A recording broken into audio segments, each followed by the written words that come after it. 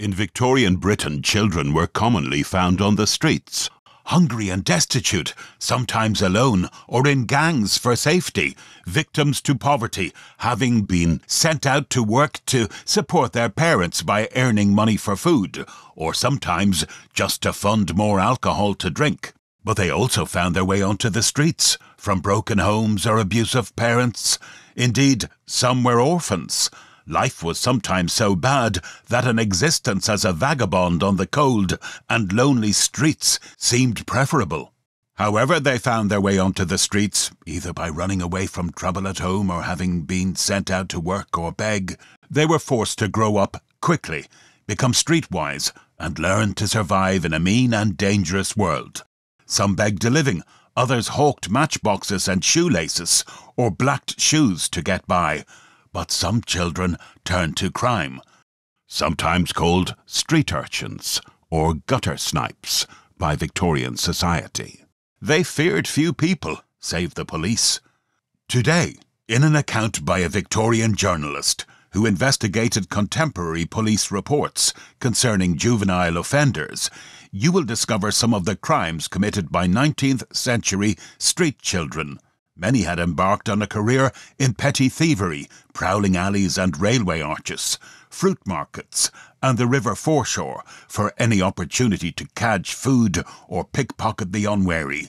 You will also hear the strange tale of three boys caught for the bizarre offence of digging up a dead cow. Before you watch, think about what they expected to gain financially from doing this, and leave a comment to let me know if what you thought matched the reality find out how some street children, however, went on to commit yet graver crimes burglary and even murder. Before we move on, if you're interested in history like this, and you want to find out more about what life was really like for people in the past, please consider subscribing for more content. If you'd like to support what we make for you, check out the description for links to ways you can help us to continue bringing the past alive. One is never morally certain of success with street urchins. It will not do to count chickens till they are grown, as, even after released from their shell prison, the pip may pop them off, or the hawk may hasten their death. So with young vagabonds. They are very disappointing, for even where intention is right, Habit is strong, and like an uncertain horse, they may stumble at any time, or break rein and dash away. It will never do to trust every boy on first acquaintance. Although your purse is not left to his guardianship, he may possibly make more familiar with your pocket than is agreeable. Nor is it wise to impress them that you have them under sharp surveillance. It will make it worse. If they suspect that your intentions toward them are not honourable, lose a boy once through a false estimate of his character, and you will find it difficult to win him back again. Some boys must be mastered by the force of will, others, the greater number, are won by love and elevated by kindly counsel. The typical street urchin is sharp and sly, with a seriously sad face, he will detail his grievances while his hand is busy with your watch. They are quick terriers and will smell a policeman at a great distance. At times they grow impudent towards him. I heard of one, eight years old, who would skin a bobby with his rasping tongue. Horse car conductors and omnibus drivers are often goaded into fury by their antics. Shopkeepers are raided upon and even when hunger is not prompting, they cannot keep their hands from picking and stealing for the very mischief of doing it. Graver crimes and depredations are frequently committed by juvenile offenders. Reference to the police reports will reveal many a strange tale of childish villainy. One is charged with maliciously causing the death of his brother by drowning him. One, a girl, with being drunk and incapable five with robbing their employers in the capacity of errand boys, three with digging up a cow, one with aggravated assault, two with making off with a bather's clothes, and four with orchard robberies. But those charged with graver offences outnumber all the others put together. Little lads, many of them no more than nine years of age, are charged with being concerned in various burglaries, housebreakings, and thefts from inhabited houses. As a bare fact, this would be bad enough, but the details of many of the cases reveal a degree of criminal precocity that forcibly brings back to the memory the jail chaplain's warning words.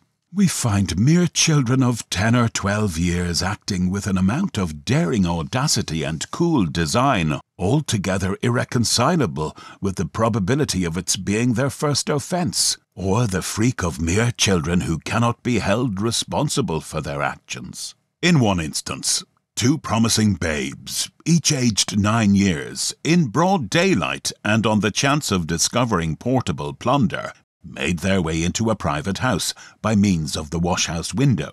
The handiest article within reach chanced to be a lady's new cloth jacket, and with this they safely retreated the way they came. But the plunder being secured, which no doubt was of considerable worth, the difficulty arose how to dispose of it. They were too young to offer it at a pawnbroker's, and too shrewd to run the risk of tendering it for sale at a shop in a neighbourhood where they were probably known. So they settled the matter safely, though at a ruinous sacrifice, by tearing the new jacket into shreds and disposing of it for a few pence at a rag shop. Two boys break into a house in the dead of night. The prisoners, on one of whom was found the last installment of a weekly romance entitled The Black Highwayman, resisted violently when apprehended on the premises by the police, until one of them remarked to the other, It's no use, Bill we best go quiet. There was conclusive evidence that they had endeavoured to force the door of the wine cellar with a poker and a garden fork, and a large kitchen knife was discovered in the drawing room, where it had been used in opening drawers, and property of high value had been put together ready for removal. About the same date, four boys were concerned in burglariously breaking into a public house in the same district, the entry being effected by means of the skylight. The actual robbery was entrusted to one of the gang, the other three keeping watch outside. They ran away on the approach of the policeman, who entered the house and found the juvenile robber behind the door with two bottles of spirits in his possession, together with four packets of tobacco and a considerable quantity of money. A few days later, a 16 year old burglar is caught who had broken into the premises of an oil and colour man, a paint manufacturer, and packed up a good parcel of plunder in the kitchen. But although in the eye of the law the offence is of less magnitude, there is no case among the heavy batch which for vice and depravity equals that of three boys. Two of them aged fourteen and the other thirteen, who were indicted for a series of systematic robberies committed on their masters, who were goldsmiths and jewellers. It appeared in evidence that the depredations had been going on for several months, the elder two boys asserting that it was the younger, the one aged thirteen, who had dragged them into crime and egged them on. Indeed, if the testimony coolly tendered by one witness might be relied on, the said youth must be as promising a young rascal as ever stood in a prison dock.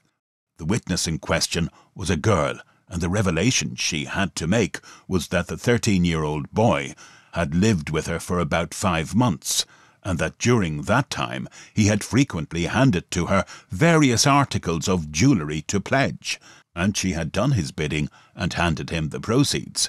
And in corroboration of her statement, she gave the names of different pawnbrokers who were in attendance, bringing with them the chains, lockets, necklets, bracelets, etc., on which money had been raised.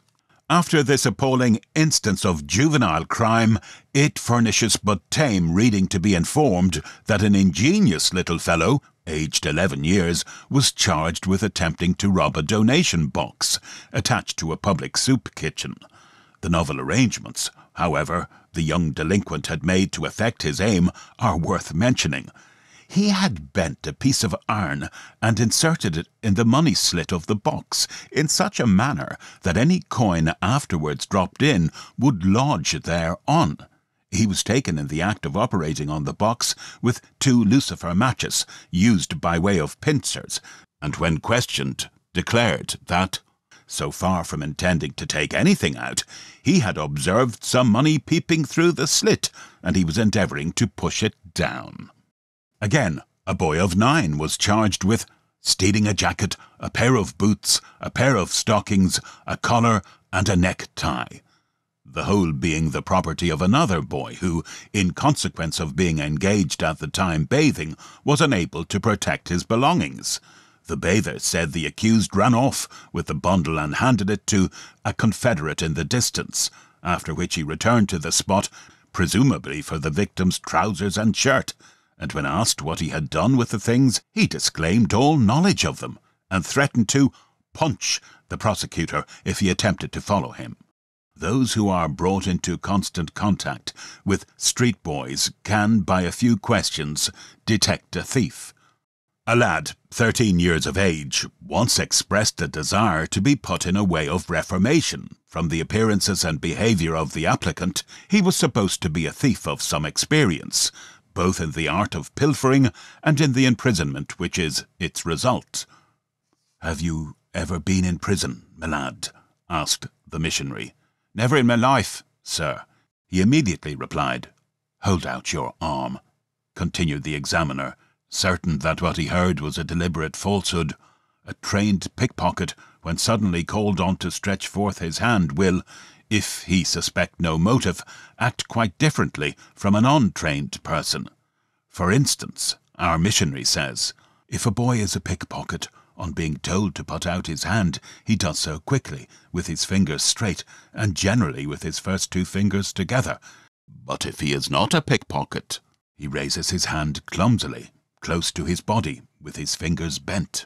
Thus the manner of this boy discovered him to be a practical thief, Turn round, my lad, being the next order. The young sinner's movements betrayed his acquaintance with prison drill. This last piece of evidence was perfectly conclusive. You have been in prison, cried the missionary.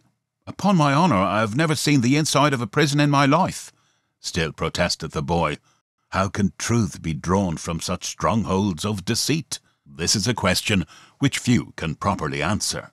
Greed and mischief seem sometimes strangely blended in the juvenile mind, as is shown by the fact that, included in the court record, we find four small boys brought up for shying stones at passenger trains on the railway, and two more a week after.